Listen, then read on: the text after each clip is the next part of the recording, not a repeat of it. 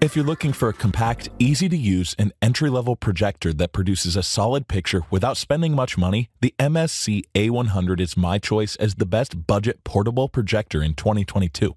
It has a compact form factor that won't take up much space and only weighs around 3.3 pounds, which makes it easy to move from room to room. I like that it comes equipped with a robust cooling system that significantly reduces the fan noise so you can stay focused on your favorite shows or movies. Unlike many mini projectors, it can also be ceiling mounted to save shelf space and provide better viewing angles, although you should place it between 8 to 13 feet away for optimal results. While the built in 3 watt hi fi stereo speakers don't deliver crystal clear audio, the overall sound is respectable and appropriate for outdoor movie nights.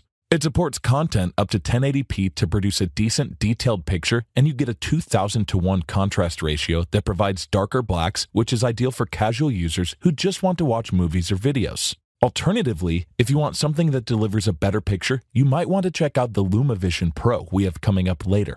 The A100 offers impressive brightness compared to most many competitors in this range, so you can use it in most lighting conditions. You also get a maximum projection size up to 200 inches depending on your space, although larger screen sizes tend to lose clarity and detail. While it doesn't have quite as many features as the high end options on this list, it still gets the job done and is ideal if you're a casual viewer who doesn't need the best available picture quality, all for under $100.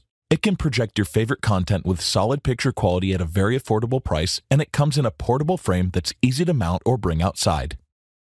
Links to updated pricing on all products mentioned in the video are in the description below. If you liked this video and it helped you out in any way, please give the video a like and hit that subscribe button. Hope to see you guys in the next video. Till next time, I'll see you later.